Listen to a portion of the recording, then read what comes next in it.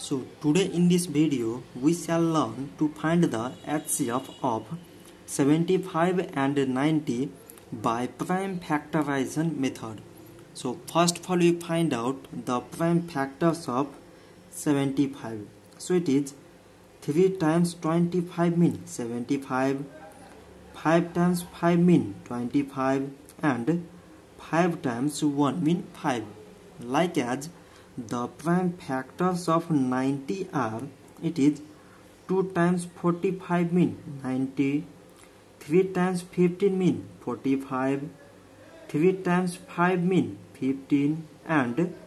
5 times 1 mean 5 so from these prime factors we can write 75 is equal to from this part it is 3 times 5 times 5 like as 90 is equal to from this part it is 2 times 3 times 3 times 5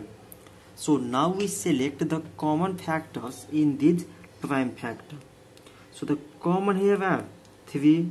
and second common is 5 so its HCF is equal to the product of common factors which are 3 and 5 so 3 times 5 mean it is 15 so 15 is the HCF of 75 and 90 so this this much for today and thanks for watching